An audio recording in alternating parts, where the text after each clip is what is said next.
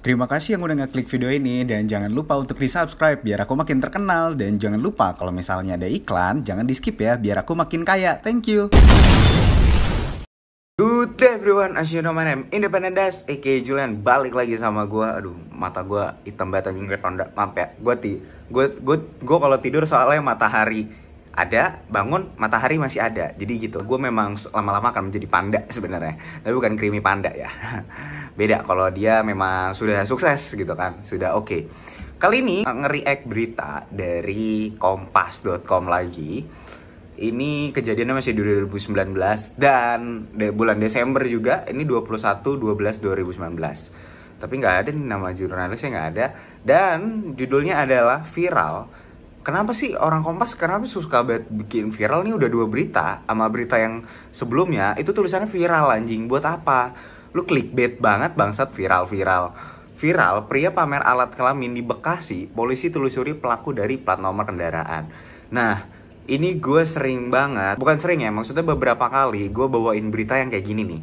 Yang dia nunjukin alat kelamin lah, karena gue dulu punya, jadi guru gue zaman SMA, dia pernah cerita dia mengalami seperti itu. Dan wow, itu psycho sih.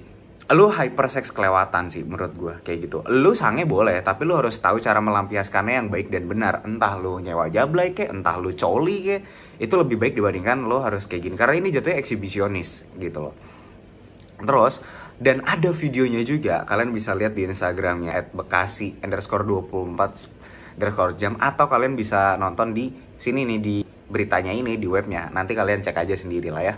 Terus katanya unggahan tersebut telah ditonton 70 ribu kali. Tapi sih jadi si videonya ini si cowok naik motor ya terus ngeluarin tititnya gitu ya tapi disensor gitu loh. Kayak gitu loh. Jadi ya mungkin memang si cowok ini kebelat sange kali ya. Dan katanya lokasinya memang di Bekasi. Dan si polisi ini lagi nge-tracking ini siapa orangnya ya harusnya sih udah bisa cepet ketangkep ya karena polisi kan biasanya gampang untuk nyari orang ya. Dan ini beritanya cukup singkat juga sih. Dan gue cuma bisa bilang nih ya untuk para perempuan di luar sana hati-hati. Pertama gue coba bisa bilang hati-hati. Gue pernah nonton di konten siapa? Katanya dia kalau misalnya lu ngelihat hal seperti itu tiba-tiba nunjukin ketawain aja. Di kontennya MLI yang sama cewek stand up comedian cuma gue lupa. Kalau lu ngelihat ada hal yang kayak gitu tiba-tiba ada cowok naik motor terus ngeluarin titit gitu ya ya udah lu ketawain aja. Dia akan malu sama lo malunya dibandingkan lu jijik lu apa. Karena itu pleasure buat dia maksudnya kesenangan buat dia. Tapi lo ketawain kayak lo kata-katain lo kata-katain kecil kayak atau apalah gitu kan. Itu dia akan malu banget akan jadi malu sangat sih.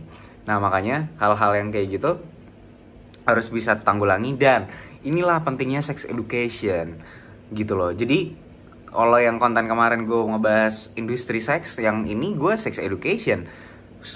Dua hal itu itu bekerjanya paralel barengan. Ada indu ada industri bokep tapi harus ada sex education. Itu yang terjadi di Amerika. Apakah di Amerika yang industri pornografinya gede dan sex educationnya gede akan jadi banyak tiba-tiba aborsi? Enggak.